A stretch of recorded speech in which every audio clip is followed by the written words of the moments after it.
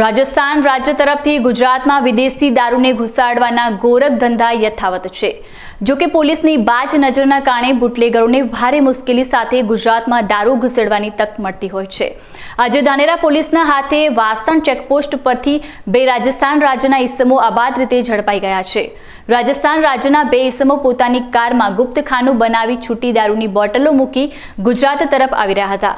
ધાનેરા પોલીસને ગાડી ચાલક અને ગાડી પર શંકા જતા ગાડીને તપાસ કરતા ગુપ્તખાનામાંથી બ્યાસી બોટલો મળી આવી હતી, જેની કિંમત સુડતાલીસ હજાર એકસો સાહીઠ રૂપિયાની સાથે ગાડીની કિંમત બે લાખ અને નંગ મોબાઈલ આમ કુલ કિંમત બે લાખ સત્તાવન હજાર એકસો સાહીઠ રૂપિયાનો મુદ્દામાલ જપ્ત કરી.